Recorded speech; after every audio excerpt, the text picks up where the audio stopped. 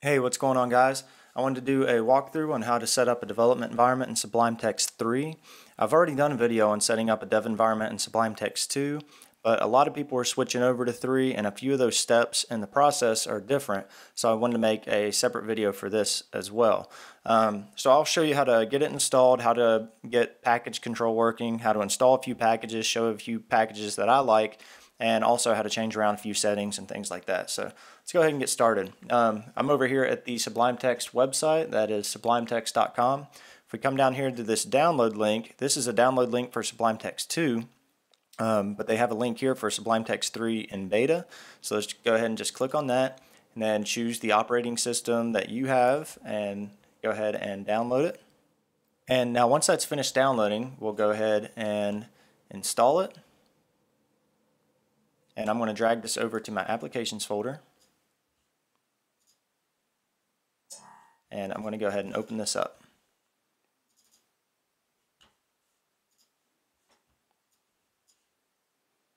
Okay, now first thing I'm going to do here is drag in a sample project that I have. Uh, that way we just have some files to work with. Um, this project has a sample HTML file, a CSS file, and a JavaScript file. Okay, and let me make this text a little bit bigger so that you guys can see. Now the first thing that we're going to want to do is install package control. If we go over here to Google, um, you can Google this, uh, Sublime Text Package Control, and it's one of the first links at the top. So just click on that. Then you'll see a link over here that says Install Now. And we want to go to where it says Sublime Text 3. You have two options for Sublime Text 2 and 3. Let's be sure that we're on the 3 tab. Then highlight all this code here and copy that. And then open up Sublime. And in our top menu here, go to View, Show Console, and then paste the code that we got from that website into the console uh, and hit enter and wait for that to finish. And once that finishes, we'll have to be sure to restart Sublime Text. So I'm going to go ahead and restart.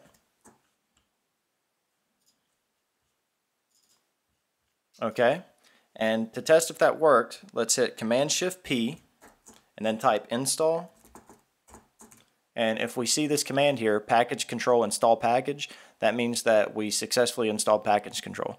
Um, so let's go ahead and install package here. Uh, just to get started with, we'll do some color schemes. Um, there are some color schemes that I like uh, by this guy here, Dayle Rees Color Schemes. There's a lot to choose from. So go ahead and install that and you'll see in the bottom left it'll say installing package and whenever this finishes it will let you know. Okay and now that that package is finished we can go up here to Sublime Text, Preferences, Color Scheme and then we can see all these color schemes here that we have to choose from. Um, so the color schemes are nice just for um, changing around, changing up the color of your code. Um, but there's also entire themes that you can download that will not only change the color, but it'll change the entire layout and look of the application. So it'll change these folder icons over here. It'll change the way that your tabs look up at the top. So let's go ahead and install one of those. Um, so again, hit Command Shift P, type install. And the theme I use is called Predawn. And now whenever this package finishes, you'll see that it pops up with this README file. Uh, sometimes whenever you install a package that has a couple of steps that you need to go through in order to get the package to work, it'll come with a README file uh, to walk you through those steps. Um, so uh, like for example here, he says to activate the theme, um, add or replace your current theme settings with the code below. So we can just highlight this code, copy that, go up here to Sublime Text, Preferences, and Settings User. We don't want to go to Settings Default because Settings Default is the default settings for Sublime Text. And if we change anything in there, if there's ever an update to the program, then those could be overwritten. So your safest bet is to always make sure that you make your custom changes to the settings user file. So now that we're in here, let's go ahead and highlight all this and erase that and paste in the code that he gave us for the theme. And whenever we save, we'll see those changes take effect. Okay, now we can see that the theme changed the entire look of the application. The tabs look different. folders look different. If we go back to the README file, uh, he has some other settings that he suggests adding in, and these are settings that I like as well, so I'm going to go ahead and copy these. And if we go to our user settings and put these within these brackets here, and we're going to have to put a comma here, and paste those in and save. Okay, and now you can see that the uh, the tabs still look a little funny here, and uh, some of this text doesn't quite look right over here. It's because if we go to the back to the README file, uh, he has an important tag here that says make sure that you restart Sublime after installing uh, to make sure that the activation uh, was successful. So let's go ahead and restart Sublime and bring it back up. Okay, and now we can see that these tabs look right and uh, all this text is fixed over here. So now I'm going to blow this text up a little bit so that you can see it better. And so now we have uh, some ways to customize the application. We can customize the colors or change the entire theme if we want. But now let's try to install a few packages that will hopefully uh, help you with your workflow. Um, so the first one I'd like to show you is one called Bracket Highlighter. So if we hit Command-Shift-P and type install, and then type in Bracket Highlighter and install that. Now what this does is we're on our JavaScript file right now. If we go to, um, you just click on any of the brackets here and it'll tell you where, over here in the gutter, it'll show you where that bracket starts and where that bracket ends. It's really, it's really useful for uh, longer functions whenever you don't know, or, or whenever you have nested functions, and, um, and sometimes these beginning and ending brackets can be hard to see. It also works in your CSS files, um, so you can see over here in the gutter, it shows where these brackets begin and end, and it also works in your HTML files. Um, if, uh, if, you click within a div here, it'll show you where this tag begins and where this tag ends. Um, so it's a useful little plugin for, um, you know, just a quick reference. Next package I'd like to show you is one called Sidebar Enhancements. And I didn't show this in my Sublime Text 2 video uh, because it's no longer supported in Sublime Text 2. So um, now it's only on Sublime Text 3. Um, but uh, by default, if we right click over here in our application folders or any of these folders, you'll see that our options are pretty limited. We only have a total of six here right now. Um, so let's go ahead and install the sidebar enhancements. So that's Command Shift P, install, and this one's called sidebar enhancements. Go ahead and install that. And now you'll now that that's installed, you'll see if we right click over here, uh, we have a lot more options. And in my opinion, these uh, are a lot more useful than the six that we had before. Um, so now moving on, let's install one called Sublime Code Intel. And what Sublime Code Intel does is it kind of adds some like some IDE style functionality to Sublime Text. It'll add in some code completion and things like that. Um, so let's hit Command Shift P, type install, and this one is called Sublime Code Intel.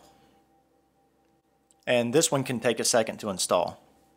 Okay, when that's finished installing, it'll pop up with this README file here. And this just kind of gives um, some information about the package, uh, what languages it supports. Um, it also comes with a few shortcuts that you can use in your application. So let me go ahead and show you what this does. So in my JavaScript file here, um, I have this test string variable right here.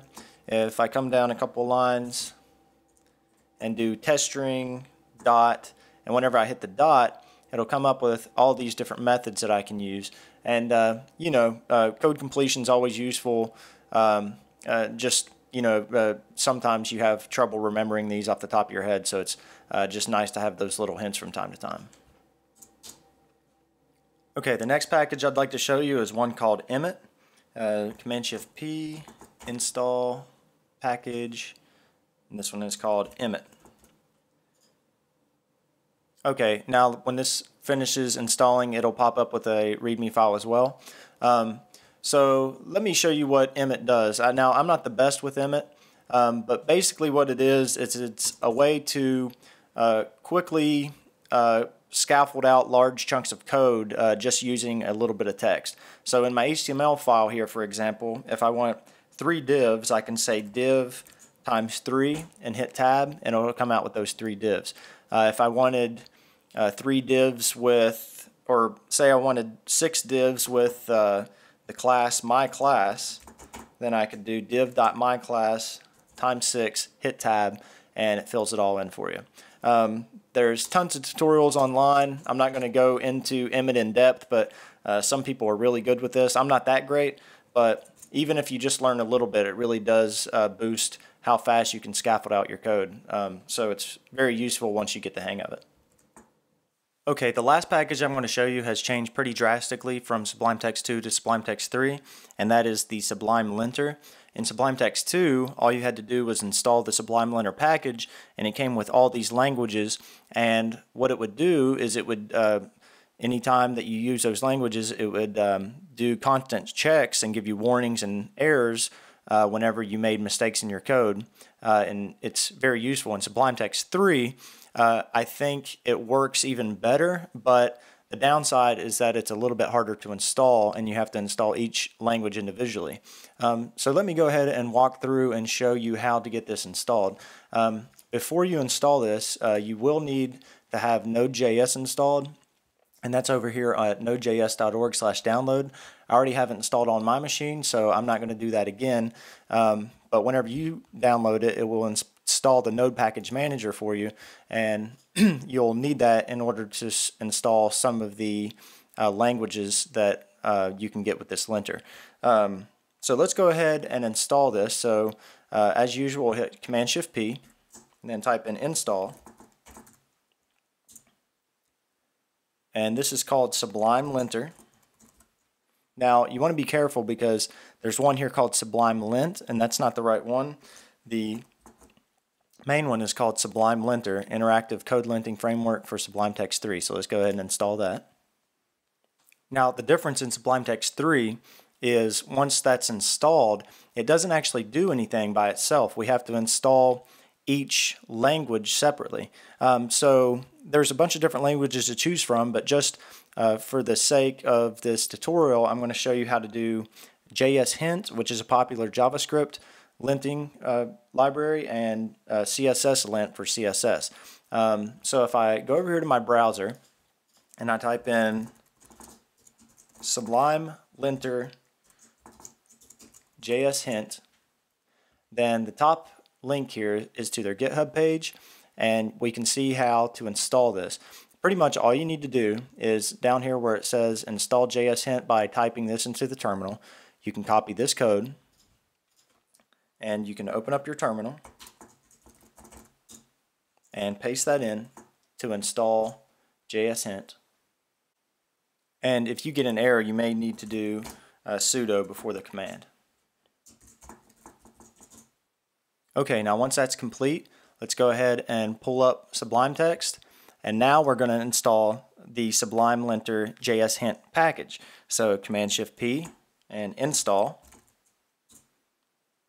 And then type in Sublime Linter and dash. And anything with the Sublime Linter dash and then these languages after it, these are ones that are uh, actually supported by the Sublime Linter framework. And you can also check to make sure if it's um, if it's official, if by the GitHub link, because the GitHub link will always be github.com slash sublime linter slash and language.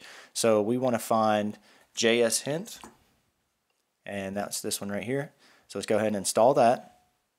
And once that's installed, we're going to want to go ahead and restart Sublime. So let's take that down and bring it back up. And now let's go over to our JavaScript file and see if that worked. So uh, say that you're doing some coding and you leave out a semicolon, it'll pop up here with a warning on the side. Or if you misspell a word, it'll pop up with a bunch of warnings here. And whenever you click on any of these warnings, uh, in the bottom left is where it tells you what it thinks the problem is. And right here it says missing a semicolon. Um, you know, down here um, it's, you know, function is not defined or F-U-C-T-I-O-N is not defined so you can see that you spelled something wrong. Um, so it's really useful to, uh, to have these code warnings and code errors uh, displayed to you as you're going along um, and you know it really cuts down on mistakes. Now really fast I'll show you how to install one more of these Sublime Linter languages, that way you can kind of get the hang of it, and then install uh, more on your own.